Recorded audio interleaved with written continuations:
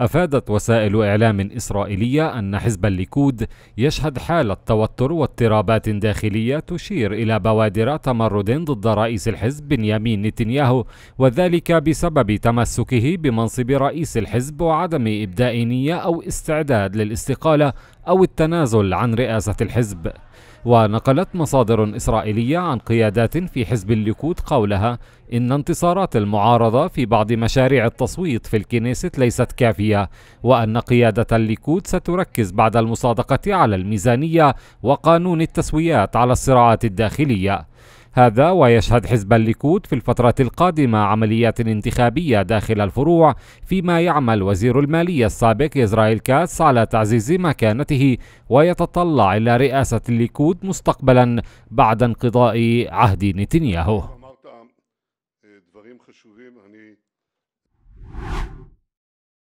بعد مضي ثلاثة أعوام من غياب ميزانية عامة للحكومة الإسرائيلية تجتمع الحكومة الجديدة وهي تحاول المصادقة على ميزانية العامين المقبلين جلسة الحكومة اليوم خصصت لدراسة مشروع الميزانية المقترح إضافة إلى قانون التسويات התקציב הפעם לא משרת אינטרס של מגזר כזה או אחר, אלא של כל מדינת ישראל. כי הממשלה הזאת משוחררת לפעול למען האינטרס הכללי. אנחנו מפחיתים בירוקרטיה ומגדילים את התחרות למען كلام ورغم تفاؤل رئيس الحكومة هذا إلا أن داخل الائتلاف الحكومي نجح ليبرمان وزير المالية بجمع موافقة 17 وزيرا فقط وبقي هناك من هو غاضب وعلى رأسهم وزير الصحة نيتسان هوروفيتش الذي يطالب بإضافة مليار شيكل لميزانية وزارة الصحة وإلا فلن يصوت هو ووزراء حزبه لصالح الميزانية. يجب أن تصادق الحكومة على هذه الميزانية التي يصل حجمها إلى 433 مليار شيكل مقارنة ب 411 مليار شيكل العام الماضي ولكن أضف إلى ذلك أيضا 110 مليار شيكل دفع قروض وإرجاع ديون وحوالي 70 مليار شيكل لمكافحة أزمة الكورونا. تعتبر المصادقة على الميزانية العامة هي امتحان قدرة الحكومة على الصمود في ظل تزايد الخلافات الداخلية. ويدعي ليبرمان ومعه نفتالي بنت أن أضرار رفض نتنياهو للمصادقة على الميزانية لمدة ثلاث سنوات لن يجعل من المهمة سهلة ولكنها ستمر. بدأت وزارة الصحة الإسرائيلية حملة التطعيم بالجرعة الثالثة ضد فيروس كورونا بالتعاون مع صناديق المرضى في البلاد على أن تشمل الحملة من هم في جيل 60 عاما فما فوق. هذا وأعلنت الوزارة تسجيل أكثر من 2080 إصابة كورونا جديدة خلال 24 ساعة حيث بلغ عدد الحالات النشطة 18775 إصابة. وحذرت إدارة المستشفيات الحكومية في البلاد وزارة المالية من عدم قدرتها على استقبال المزيد من مرضى كورونا في خلال أيام قليلة في ظل الارتفاع المتواصل للإصابات والحالات الخطيرة التي تم تسريرها.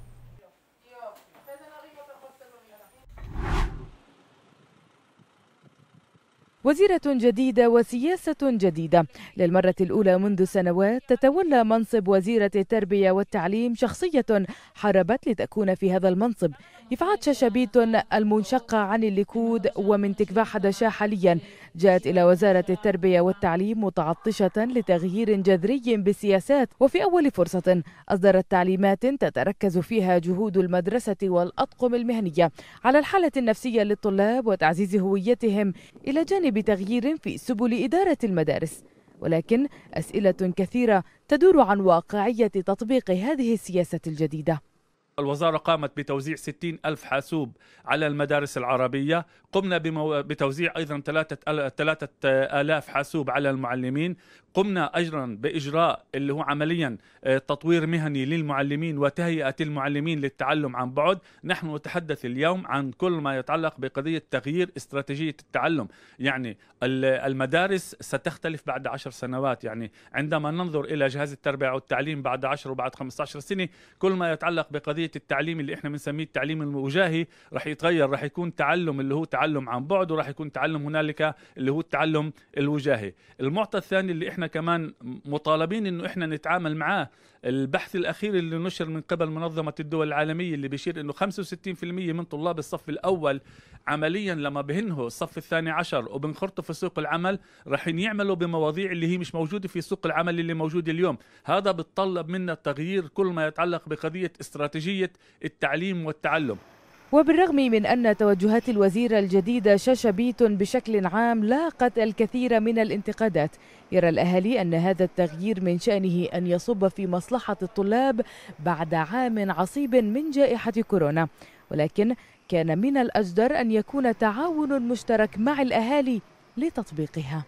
بتأمل إنه آه، يعني لما آه، بتحكي الوزيري على هذا الإشي إنه يكون في تنفيذ على أرض الواقع ويتغير على آه، مستوى المدارس التعامل مع الأهل ويكون راي لنا في حتى في البرنامج اللي بدها تحطه الوزيري هسه الوزيرة حطت برنامج ما سألتش الأهل. طب تسألنا تقولنا إيش اللي بدكم إياه؟ إيش المشاكل اللي عندكم؟ لأنه المشاكل اللي عندنا في الناصري بتختلف عن المشاكل في النقب والمشاكل العرب ككل بتختلف عن المشاكل عند اليهود. فيجب سؤالنا على أساس إنه إحنا كمان نحط إصبعنا على الجروح ونقولها شو طريقة التعامل معنا من أجل رفع المستوى التعليمي والنفسي والإجتماعي للطلاب. اذا فإن السياسة الجديدة ضرورية خصوصا بعد أزمة كورونا. لكن بين ضرورتها وتطبيقها على أرض الواقع يقع تحد كبير خصوصا في المناطق العربية التي تعاني من شح في الميزانيات والإمكانات. بالإضافة إلى إهمال يأمل الجميع أن تكون نهايته قريبة. ذكرت وسائل إعلام إسرائيلية أن النيابة العامة طلبت من المحكمة العليا تجاهل تقرير الرئيس السابق لقسم التحقيقات مع أفراد الشرطة محاش الذي أكد أن أحداث قرية أم الحيران التي استشهد فيها المربي يعقوب أبو القيعان بنيران قوات الشرطة عام 2017 لم تكن عملية هجومية من جانب الشهيد. جاء ذلك ردا على التماس قدمته عائلة أبو القيعان ضد قرار النيابة والمستشار القضائي للحكومة الإسرائيلية أفيخاي مندلبليت بإغلاق ملف التحقيق ضد أفراد الشرطة الضالعين في قتل الشهيد أبو القيعان. أو محاكمتهم. يذكر أن أبو القيعان استشهد في الثامن عشر من كانون الثاني عام 2017 بعدما اقتحمت قوات كبيرة من الشرطة قرية أم الحيران في النقب بهدف هدم بيوت فيها. وادعت من دون أي دليل بحوزتها أن الشهيد أبو القيعان نفذ عملية دهس متعمدة. أجبرت السلطات الإسرائيلية مواطنا من قرية جلجوليا على هدم مخزن زراعي في أرضه في منطقة البساتين حيث أصدرت سلطات التنظيم والبناء في وقت سابق أمر هدم وغرامة مالية قدرها 15 ألف شيكل ضد المواطن بذريعة البناء دون ترخيص. واضطر المواطن بهدم المخزن تفاديا للغرامة والتكاليف الباهظة التي تفرضها السلطات في حال نفذ أمر الهدم. ويذكر أن السلطات هدمت أرضية مخزن قيد الإنشاء في منطقة البساتين بجلجوليا الأسبوع الماضي.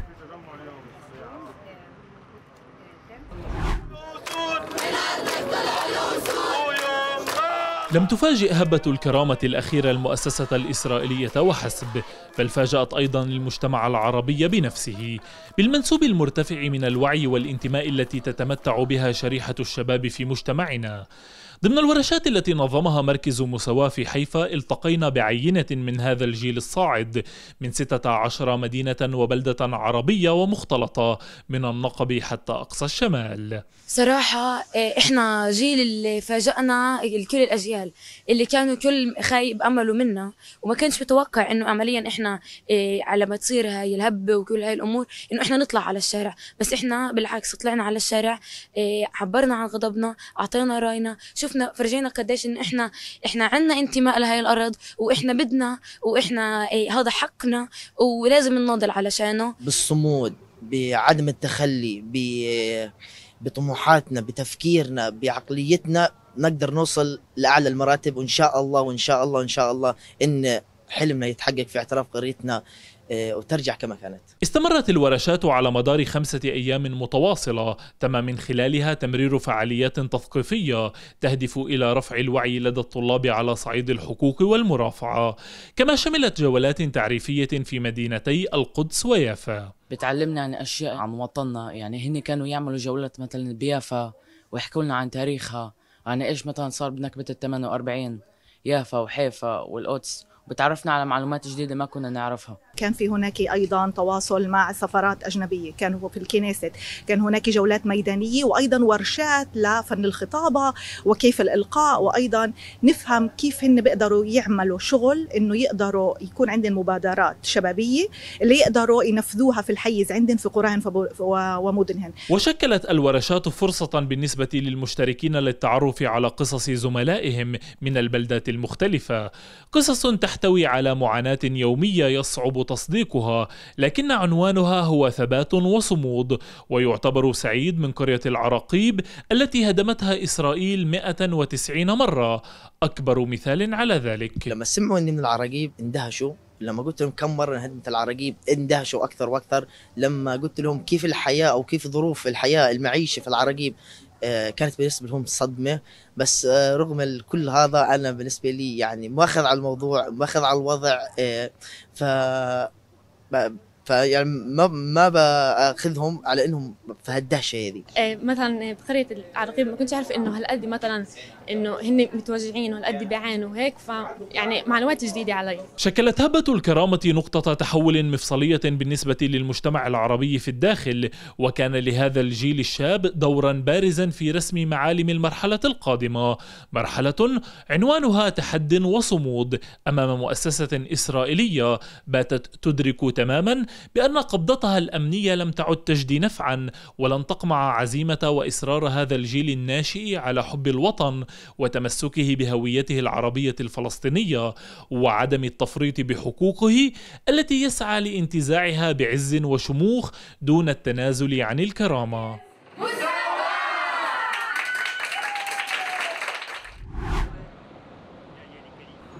أصيب عامل يبلغ من العمر 24 عاما بجروح وصفت بالخطيرة بعد سقوطه عن علو نحو ثمانية أمتار أثناء عمله. في مدينة نوفا جليل بالقرب من الناصرة. وقدم المسعفون العلاجات الأولية للمصاب ثم تم نقله إلى مستشفى عيمك في مدينة العفولة لاستكمال العلاج.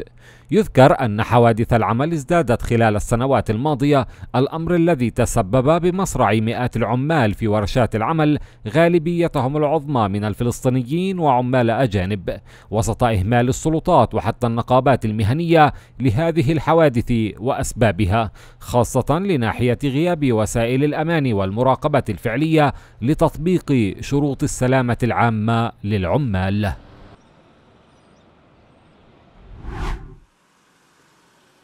اعتقلت الشرطة الإسرائيلية شابين يبلغان من العمر 24 عاما و25 عاما بشبهة قتل الشاب سرحان عطلة البالغ من العمر 30 عاما من قرية يركا في جريمة إطلاق نار.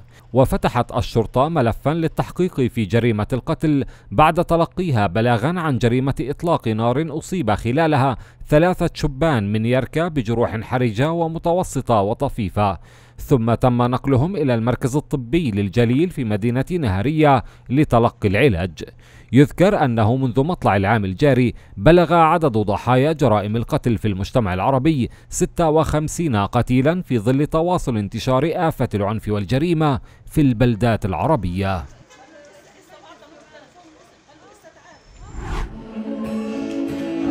تحول عرض مشروع لخريجي برنامج مندل للقيادة الثقافية في النقب إلى مهرجان تربوي بعد حضور المئات من المواطنين إلى السوق البلدي في بئر السبع للمشاركة في هذه الأمسية. أنا فكر أن تبادل الثقافات الموجود اليوم في اللي بيسووه مشروع منديل جدا جدا مهم خصوصا في مدينة تاريخية عريقة اللي مهمة لكل المواطنين في النقب اللي هي مدينة بئر السبع.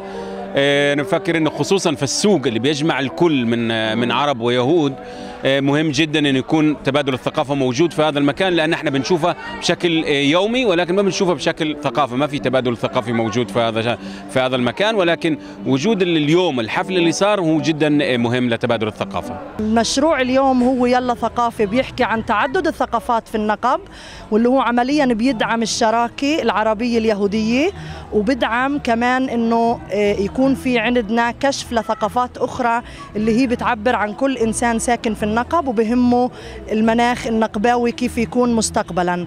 فعندنا هون تطلع اللي هو عمليا تطلع ورؤية حاضرة ومستقبلية لكيف تكون التربية أو الثقافة في النقب. يلا ثقافة الذي ضم محطات لخريجي البرنامج القيادي للشباب والناشطين يهدف إلى تطوير الثقافة في النقب. حيث يضم البرنامج 15 مشاركا من المنطقة الجنوبية يعملون في مجال الثقافة من فنانين وممثلين ومدراء ثقافة ورسامين والذين تجمعوا تحت سقف واحد من أجل العمل على تطوير الثقافة والنهوض بها في جنوبي البلاد. نحن اليوم موجودون هنا في السوق البلدي في مدينة بئر السبع عاصمة النقب وكذلك في تخريج الفوج الثالث من برنامج منديل للقيادة التربوية.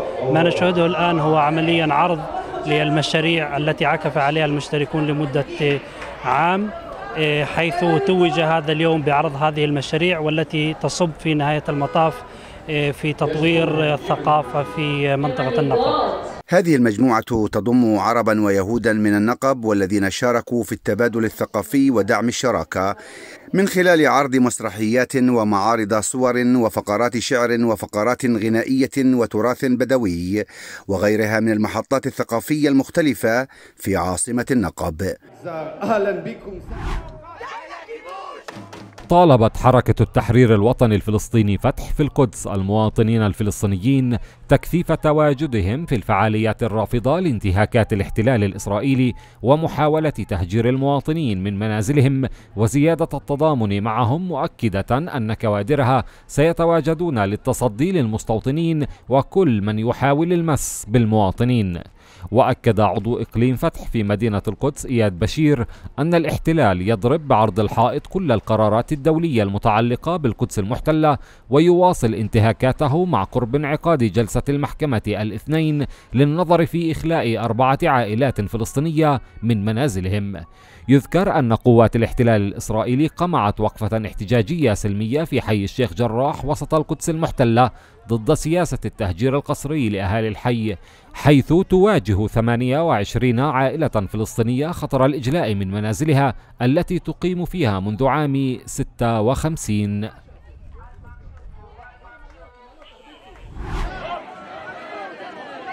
قالت وزارة الخارجية الفلسطينية إن قمع الاحتلال الوحشي للمسيرات والاعتصامات السلمية يستدعي صحوة قانونية أخلاقية من المجتمع الدولي. وأشارت الوزارة في بيانها إلى أن قوات الاحتلال لا تتوانى عن استخدام القوة ضد المحتجين السلميين العزل لإيقاع أكبر عدد من الإصابات بينهم في محاولة لإرهابهم ومنعهم من تسيير مسيرات احتجاجية دفاعا عن أراضيهم وممتلكاتهم في مواجهة الاستيطان الاستعماري التوسعي. ودانت صمت المجتمع الدولي عن هذه الجرائم المستمرة وعدم محاسبة الاحتلال على خرقه للقانون الدولي والقانون الدولي الإنساني ودعت إلى سرعة تطبيق مقررات مجلس الأمن والجمعية العامة للأمم المتحدة ذات الصلة وإلزام دولة الاحتلال الانصياع والخضوع التام لقرارات الشرعية الدولية دون أي تباطؤ.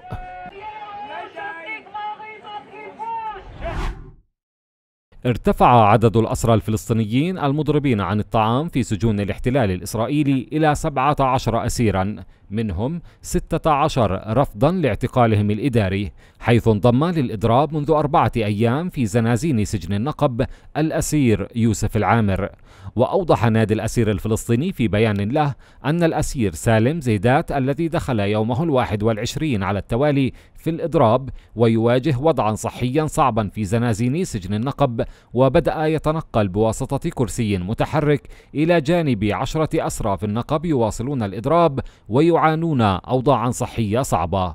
وأكد أنه لا توجد بوادر حول حلول جدية حتى اليوم بشأن قضية المضربين عن الطعام لافتا إلى أن سلطات الاحتلال تواصل تصعيدها لسياسة الاعتقال الإداري وإصدار المزيد من أوامر الاعتقال الإداري بحق معتقلين جدد.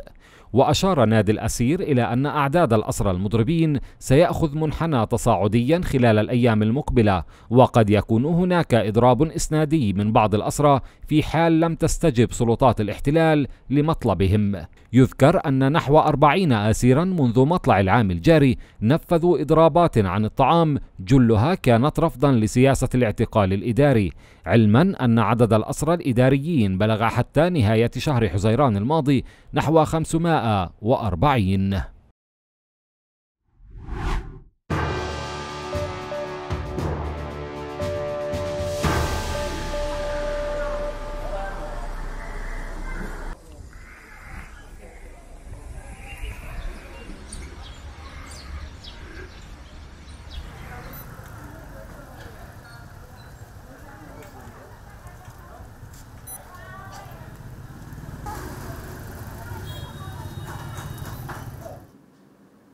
なかった。もうそれ